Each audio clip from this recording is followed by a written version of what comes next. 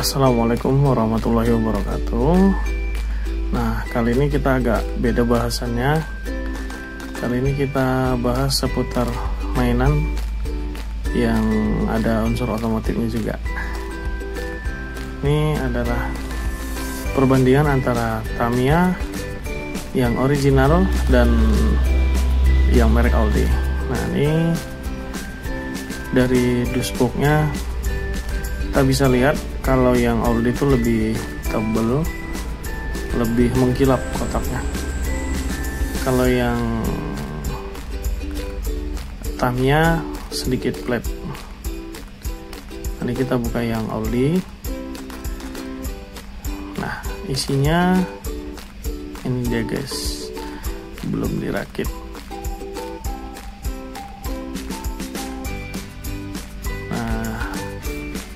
untuk bodinya yang oldie dia putihnya tidak putih dia sedikit putih-putih gading. Nah ini part-part yang lainnya ini bannya. Lumayan empuk tapi rada berat. Nah tuh sayap dan roller. Nah ini dinamo. Dinamo bawaan oldie tuh sudah kenceng ya teman-teman ya. Dinamo bawakannya itu udah kencang jadi nggak perlu pakai dinamo setan lagi. Tapi kalau mau lebih kencang lagi bisa beli yang lebih bagus dinamonya. Nah ini stikernya. Ini rangka sasis super 2 kalau nggak salah ya. Nih, ini bannya. Nah ini stikernya guys. Sedikit menguning ya faktor usia secara mainan ini dari tahun 2002 ya. Ini manual book ngerdang 2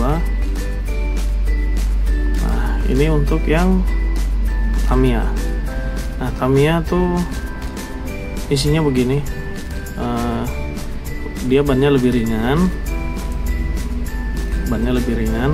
Nah ini untuk body dan perlengkapan part lainnya dia beneran merah dan beneran putih ya guys. Nah ini dinamonya. Nah untuk yang Tamiya itu dinamo bawakannya itu eh, kalau untuk kompetisi nggak direkomendasiin ya kecuali kalau standaran ya standaran. Kalau untuk kompetisi wajib ganti karena dinamo standarnya tuh nggak nggak nggak kenceng teman-teman ini sasisnya. Sasisnya dia lebih ringan. Juga lebih solid.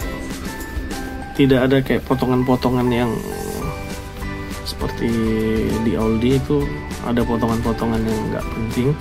Nah ini stiker juga lebih lebih manyus sih lebih mantep stikernya.